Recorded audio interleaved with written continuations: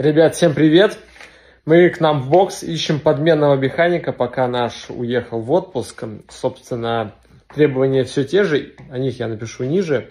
Поэтому кто считает себя, что он справится со всеми задачами спортивного механика, обслуживания моих автомобилей, все знаете их спек, пишите обязательно, приходите, будем смотреть вас, договариваться.